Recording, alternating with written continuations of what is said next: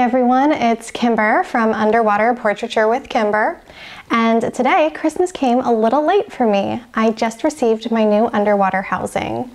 I ordered it from Mosaik Cameras. Tal and his team are absolutely amazing at helping you figure out every single thing you need. So let's go through what I bought.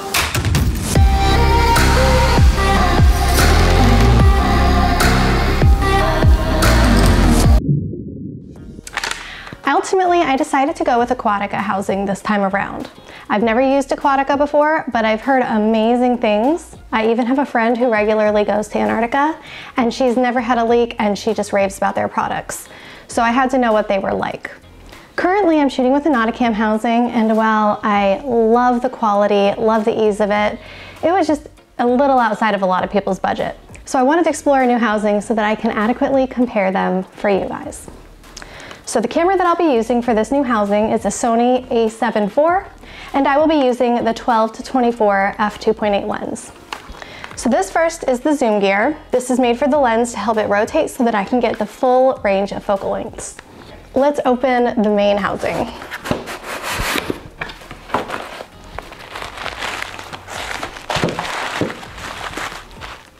We have a grip,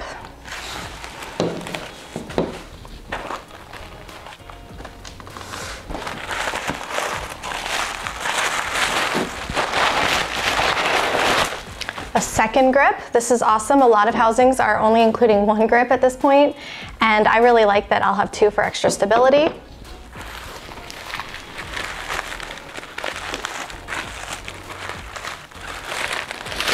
Here we have a tool to put everything together, little wrench,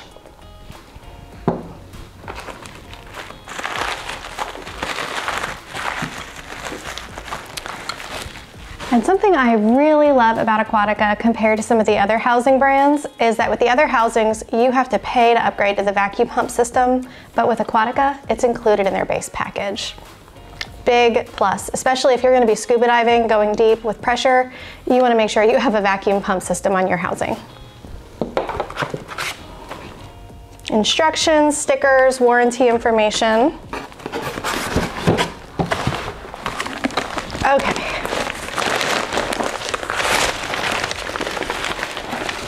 And here it is.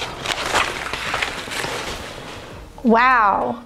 So first impressions, it's definitely larger than some of my other housings, but it feels incredibly rugged. A lot of my other housings have either a smooth polycarbonate or smooth aluminum, but this is textured and I actually really like the feel of this housing. The buttons are all large and also textured, which I think are gonna make it easier to grip and maneuver. And as you can see the back here, it's the A7 IV Pro housing. So this is depth rated to over 300 feet, and I will never be taking it that deep. So I think this will be more than adequate for what I need. It has the buckles on the sides.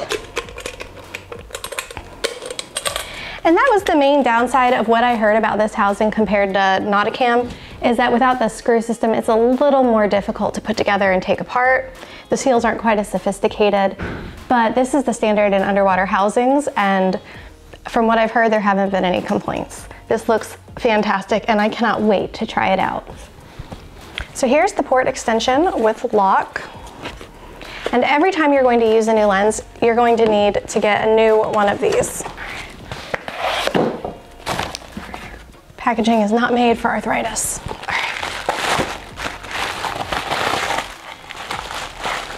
So here we have it. This will attach on and the dome port will go to this. And last but not least, we have the dome port.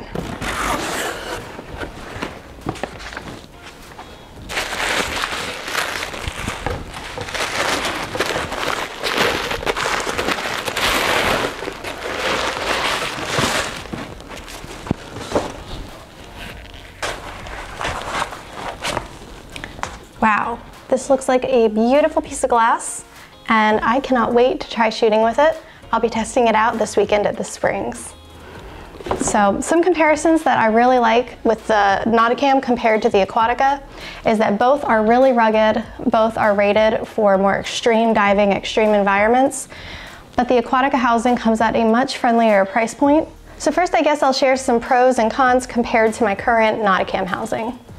Some of the cons of the new aquatic housing is that it is significantly heavier, it's bulkier, the clips are definitely not as easy to manipulate as my Nauticam housing, especially for someone like me who has arthritis.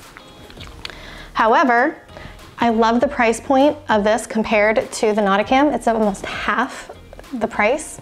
Additionally, this is manufactured in Canada, whereas Nauticam is made in China.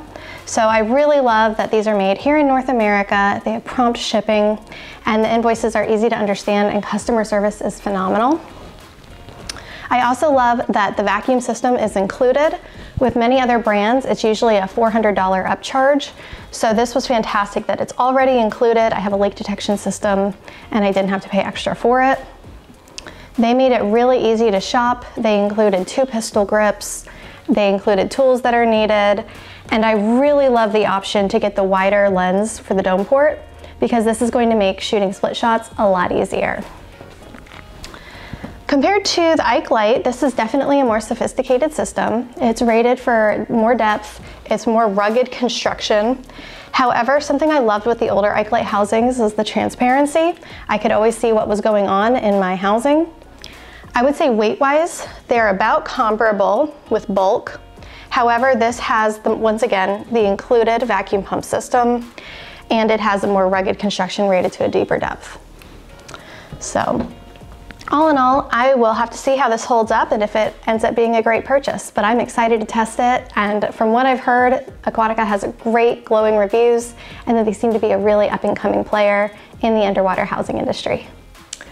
Photographers, feel free to join my Facebook group, Underwater Portraiture with Kimber. We regularly post gear comparisons, safety information, and so much more. Everything you need to get started shooting safely underwater. And if you like, check out our workshops. We will host one in 2023. You can find more information at water-workshop.com. Thanks and hope to see you there.